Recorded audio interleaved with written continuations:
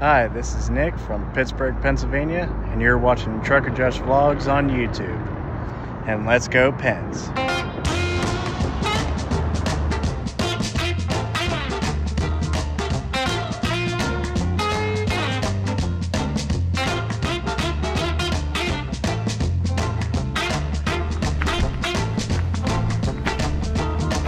Oh, yes. We're styling this morning. Good morning, Chevy. Morning, Frank. Morning, Wiener. Diesel. Morning, Diesel. Good boy. It's Monday morning. Uh, it's uh, we have an appointment in Winnipeg for the IVF procedure. It's called a lipid infusion uh, for Britt. I'll let her explain it later, maybe. Uh, got to get into Winnipeg for 9:45. That's when it starts, and apparently this procedure takes a few hours. So I'll be waiting down in the husband's parking lot for a little while. Got to remember to bring my phone with me so I have something to do.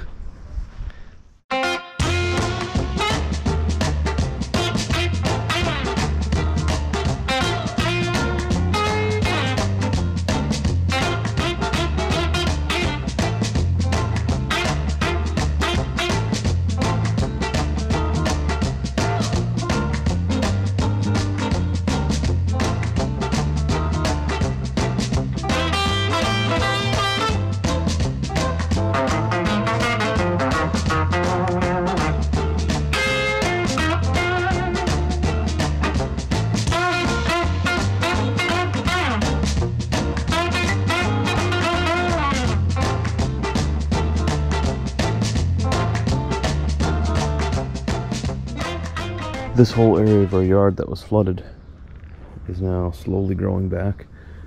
That in the corner has never really grown that well. That used to be a flower bed back here. And then I took the flower bed out. And grass never really took in this area. I've sort of just been letting this tree grow here, but we're gonna have to be careful because uh, all the wires up there. We may have to transplant this tree. There she goes. This is a natural medicine clinic. What that means exactly, I have no idea. Uh, didn't get a chance to uh, vlog with her yet before she went in. Maybe we'll uh, see how it went when she gets back, but I'll, I'll give you guys a little rundown. So they, uh, it's going to take two hours here, and they inject her with uh, some kind of natural medicine that uh, will prevent her body from rejecting the embryo. We've two embryos frozen. For those of you who are new, we're going through the IVF process here. A little bit of behind the scenes trucker Josh vlogging today at home. Well, not just a trucker. Uh, we're, going through this process to have our first baby. And uh, we're almost there. We're almost to this point. It's been a very long, very expensive journey, but uh, uh we're getting close. So they're going to inject her with this. Takes two hours. It sort of shuts off her immune system, which sounds a little bit scary. Uh, but they give her antibiotics. So her body won't reject the embryo when they implant it in about a week or two. And uh, the antibiotics sort of just work to replace the immune system in the time being so that she doesn't get any infections or anything because uh, her body's sort of going to be shut off for fighting things off. So the antibiotics help that. That's all I can really tell you. That's all I really know. I'm the dude, so my job is pretty easy. Um, but she has had to go to hell and back through this process. And any of you out there who have gone through the IVF process or know somebody or, you know, it's a pretty common thing. It's kind of a taboo thing for some reason to talk about, but I decided to go into it on my channel here and bring you guys along for this journey just to sort of break that stigma a little bit because there's nothing really taboo about it. This this happens. This this is something that a lot of couples are going through nowadays. And the reasons for all the infertility around the world, well, that's probably a topic for a whole different vlog because I don't know. I'm not a doctor, I'm not a scientist, but it is an issue. So uh, maybe it was an issue before as well, and we just didn't know because we didn't have the technology and stuff to know. But nowadays, with modern medicine and science and technology. It's amazing what we can do and how we understand the human body. It's uh, been a huge learning process for me.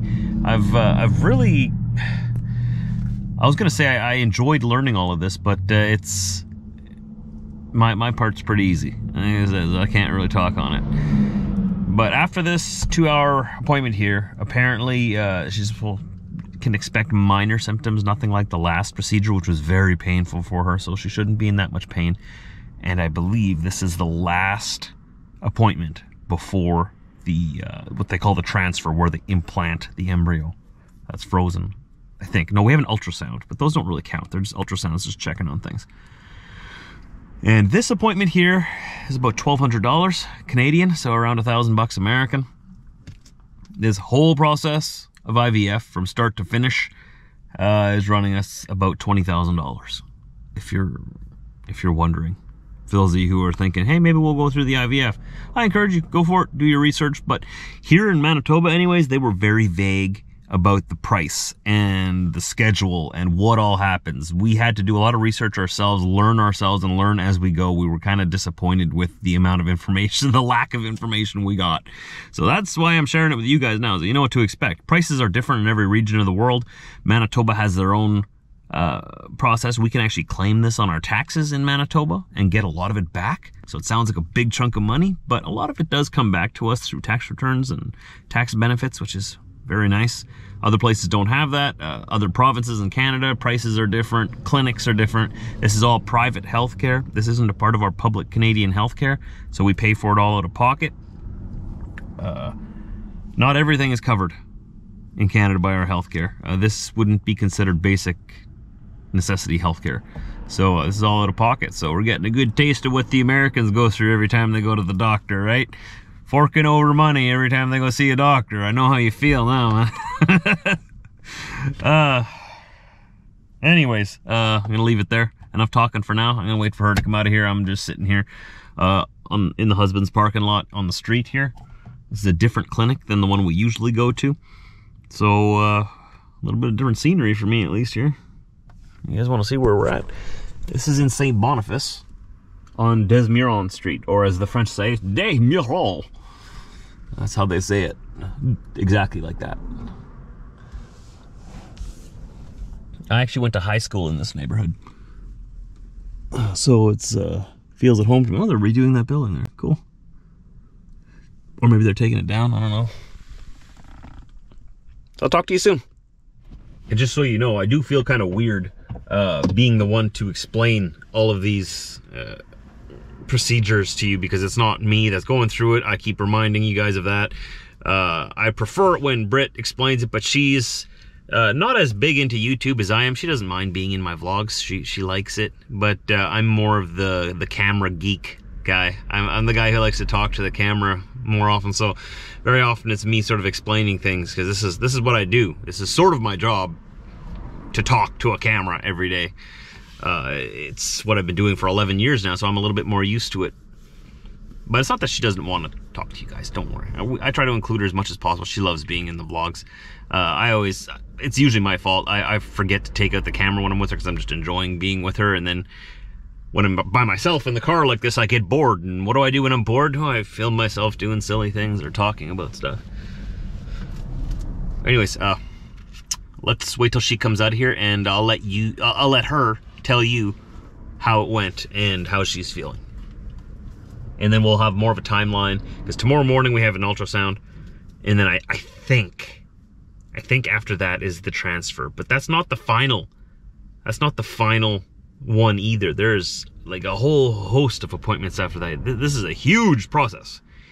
Huge process. And we've been in this now for oh years. Years, so yeah, I'll stop yapping. I'll stop yapping. I'll see you in a bit. So we had some good news. It was a lot cheaper than we thought it would be. A thousand dollars cheaper. I read it wrong. Like 98% cheaper. Oops. Got the Thank war goodness. wound.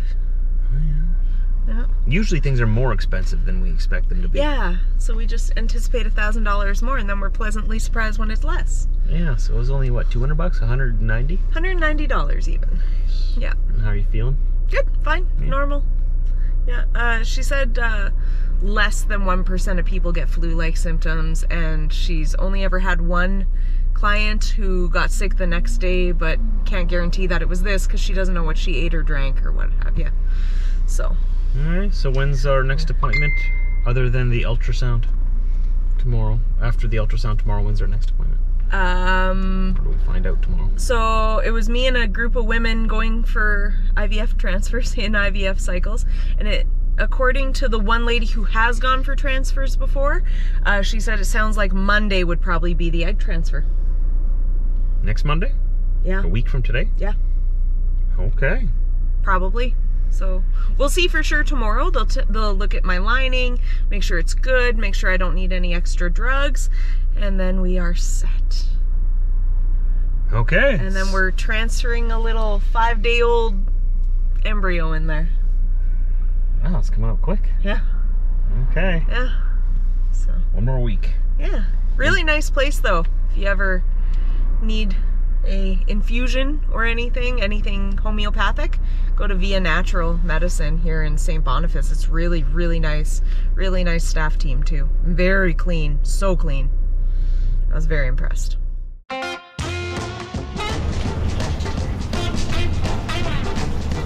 Got new covers for our chairs.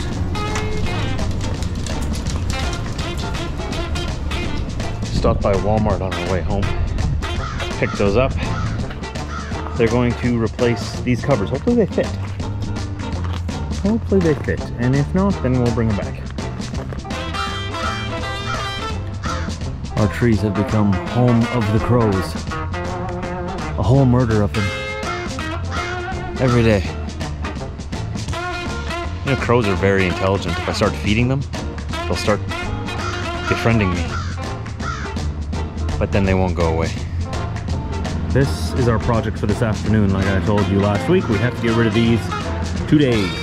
No more redneck backyard for us. Actually, I can get rid of some of that old wood there too. Bring it all, bring it all away. Just swung by the shop here. Say hello to old Blue pick up a few things. Hi. Show me your new trick. Very nice. Very nice, old boy. Looking pretty. Installed these the other day. If you missed that video. Minor detail, but makes a big difference. My next thing is uh, I have new horns to put on here. And I also have breather air cleaner lights, uh, which get attached to the top of this air cleaner here. And then they glow down and they make this whole thing glow. It'll be amber. The previous owner had them already and uh, he just gave them to me with the truck. Now these will be good. Eventually, what does this say? Dual function. I could make this into a signal as well. What do you guys think of that? Uh, I don't know if I like that idea, but what do you guys think? I could hook it up to the signals and the marker lights so that going down like the road, my air cleaners could flash like blinkers. Like they'd, they'd be the marker lights, just like everything else. But when I turn my signals on, it would be like these lights. They'd get brighter, you know, so that they would be signals. I think it would look kind of silly, kind of funny doing that, but I'll get your opinions on it. If enough people think that it would look good, I mean, I could make my air cleaners flash along with my signals. I think I'm just going to leave them as marker lights, but eventually we're changing out the amber anyways. I just got these ambers along with the truck, so I may as well install them. Uh, but eventually we're changing them to those those dual bulbs where uh, when I flick that switch, all my lights will go blue. That's to be like a party trick when I go to a truck show. It's to be real cool. Or when I park at the truck stop, you know, this nice W9 rolls in beside you and you're like, wow, nice truck. And then I'll be like, all the lights will turn blue and everyone will be ooh yeah that's the that's the the effect i'm going for. Everybody goes ooh. Would you look at that? But uh we'll see. We'll see. Lots to do. Lots of lights to add to this thing yet. Uh once we get these breather air lights in here making this glow i also want the line of ambers up at the front and reds at the back. That'll be another thing. I have these horns over here from Mr. Bruce Kimmel. He said I could mention them. Thank you very much. It's a housewarming gift for Old Blue. That's for the kids. So when they give me the arm pump, I'm gonna deliver. They're gonna remember me. Oh, it's always raining. Raining. It's gonna be a rainforest soon. Look at that, eh? No old appliances. We no longer look that redneck. Just a little bit. Not not not a lot, just a little bit. At least we got those out of the yard now, and uh, yeah, that's that. So, not too much of a vlog today, but the appointment went well for Britt today. We've just been sitting at home watching some TV, getting some stuff done. Tomorrow we have another ultrasound. She has another ultrasound appointment in Winnipeg that I'm going with her to. And, uh, oh, we do have some good news though. Uh, I'll, I'll, I'll tell you inside with Britt. They're gonna let me up in the room for the transfer. Hopefully next week. So, so I actually get to be there when our child is conceived. Like a normal husband. Most husbands are there when their child is conceived. In a different kind of way, but Yeah. this counts too. that was her joke. She told me before I stole your joke. That's okay. I steal a lot of her jokes. A lot of my jokes come from her. I just say them on the internet. How did the appointment go? You feeling good?